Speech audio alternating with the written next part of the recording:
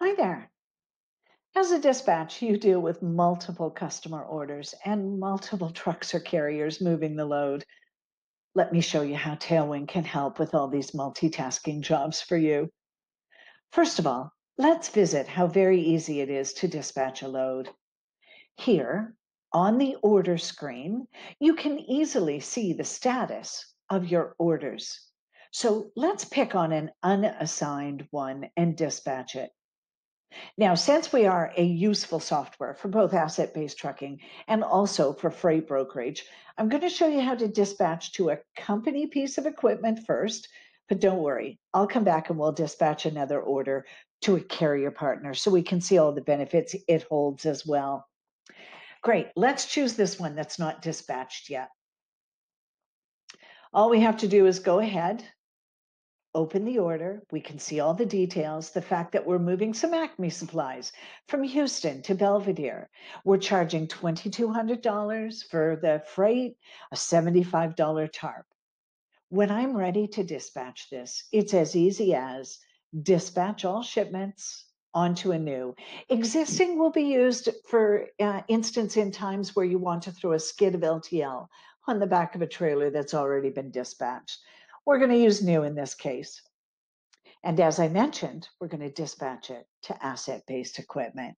So you have some buttons right here, company truck, brokered carrier.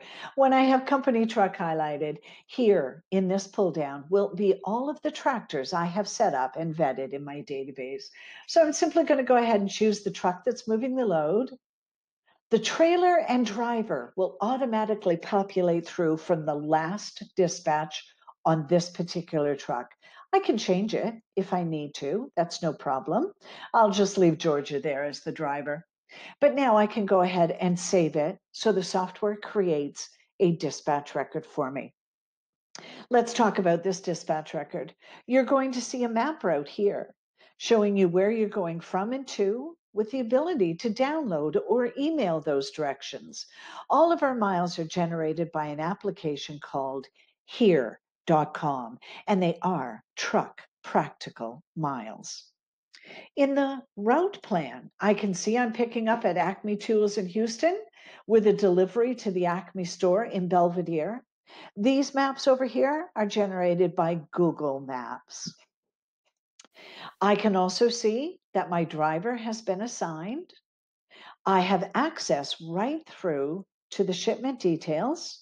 So I can open the order right from the dispatch if needed, and I can see an expense area as well. We have to pay someone for moving that job for us. Georgia Green happens to be paid by the mile. Here on the route plan, I have the ability to calculate miles. All I have to do is click calculate mileage, and the software goes to work for me, letting me know it's 1,085 miles to go from Houston to Belvidere. And the software will go to work for you as well to determine automatic payables. Very often, we incentivize our company drivers and owner operators either by a mileage pay or by a revenue split. So, this is simply auto payables at work for you, creating 50 cents per mile. I pay Georgia Green 50 cents per mile. So, that's just the software creating the bill for Georgia for me takes away all that need to do automatic, uh, sorry, manual calculation of driver pay and owner operator revenue splitting. But the most important part of a dispatch is getting the instructions out to your company driver or owner operator. And we've got two ways to do that for you. Here under the print menu, you have the ability to email a trip manifest. Let me throw this on the screen for us so you can see all that it holds. This is the instruction sheet to your driver. You will, your driver will get a trip number. That's what they're going to reference on their pay settlement statement. It shows them the tractor they're using, the trailer they're using. It shows them where to pick up. If they're scheduled pickup appointments, they will show there. It shows what to pick up and any notes that come through. So location notes or notes that are put on the actual order entry. And then of course it shows them where to deliver the load to. Now, while that's one way to get the instructions out to your driver or owner operator, we have a second and really slick way to handle this for you. I can't demo it because it involves the use of a cell phone, but I'll certainly describe it in depth for you. We have an app called the Drivers app. It's a POD complete app. It is Android and iPhone capable, so you can download it from the Google Play or the iTunes Store. When your driver has that app on their cell phone, the mere act of a dispatcher assigning the driver here and hitting the save button will send this dispatch out to the driver's cell phone. Your driver will be able to see all details listed in this trip manifest on their cell phone. But it doesn't stop there.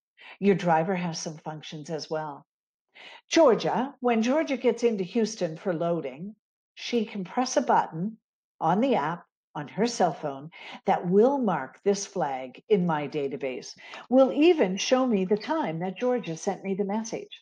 So I can now be tracking in and out times of my loading and unloading facilities directly from messages sent from my driver's cell phone as well. When Georgia gets into Belvidere, Illinois, sends me messages that mark these flags in my database showing me the load's been delivered, Georgia will have another button on her app that will allow her to capture the proof of delivery.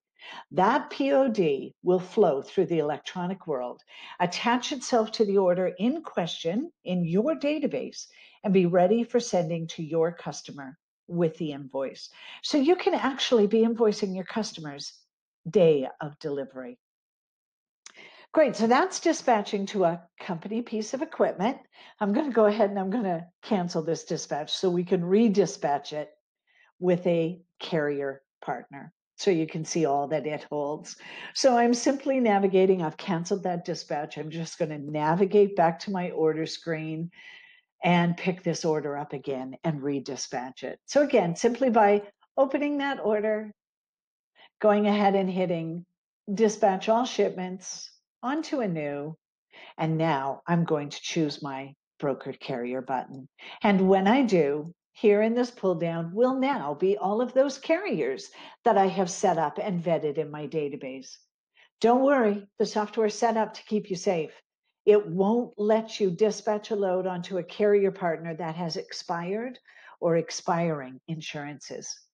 So I'm simply going to choose a carrier partner of mine and the contact that I'm talking to will flow right through from the carrier record. So perhaps I talk to Brian over there. The equipment type is going to populate through from the order. We put that information in when we're doing our order entry. You can track the driver cell, carrier tra tractor, and the carrier trailer number if they will give you those details. But the next thing we do is, of course, how much money are we paying the carrier for the movement of this job? And you can even categorize that expense. So it's always useful to categorize or put our expenses into specific buckets so we can do cost uh, analysis against our loads. So now when I save this record, again, the software is going to create a dispatch record for me. It's pretty much very similar to the dispatch record we saw when we dispatched to a company piece of equipment, but instead, it's not a trip manifest anymore. We have the ability to send a load confirmation to our carrier partners. Let me throw this on the screen for you. You can certainly email the load confirmation to your carrier partner. I'm going to go ahead and throw it on the screen because, of course, the load confirmation is your legal binding contract that gets set up between yourself and the carrier you've hired to move the job. Your logo, your company information will populate here. This trip number acts as your PO to the carrier, what they should reference on the invoice back to you so you can easily reference in your database.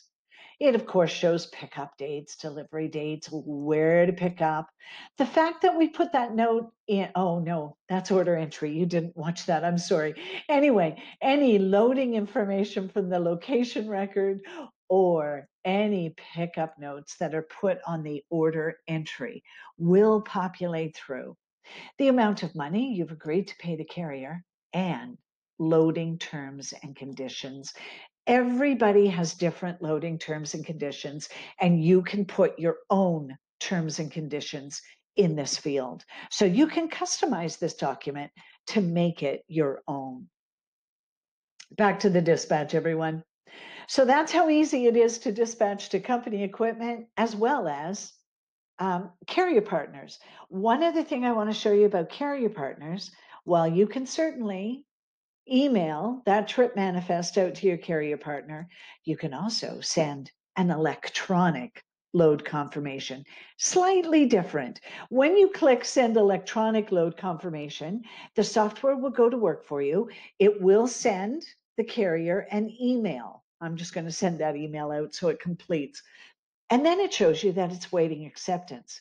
That email that you send to your carrier partner will contain pickup city, delivery city, and the amount of money you're willing to pay. It's a great function because it protects you against back solicitation until the carrier accepts that load electronically. Once the carrier does accept the load, this button will turn green for you and you will have the ability to see who electronically accepted. And when the carrier electronically accepts that load, your carrier will, no extra work by yourself, will get the full load confirmation. The software will automatically send it out to the carrier in question.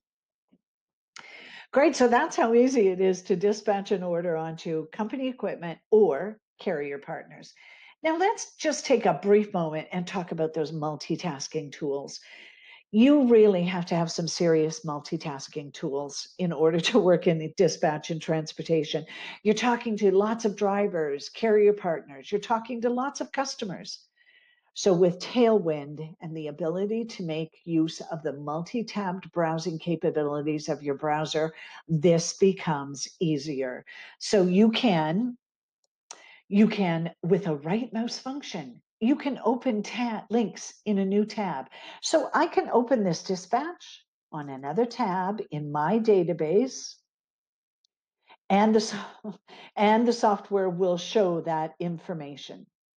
I can come back to my dispatch list because I kept my dispatch list on one tab. I can open up another one on another tab. So I can have multiple tabs open talking to whoever it is I'm talking to and easily navigate back and forth. I can also, with a right mouse function, open my entire order list if that's what I need to do. So that perhaps I would have my order list over here with my dispatch list. I can drag and drop those tabs around so that I can see whatever information I need to see. My dispatch list on one tab, my order list on another tab, and individual dispatch, order, whatever that situation might be. So there's lots of functions in the software that's going to help you with those multitasking tools. Great. I sure hope that helps you understand how easy it is to dispatch a load and get the instructions out to your company driver, owner, operator, or carrier partner. Thanks for watching.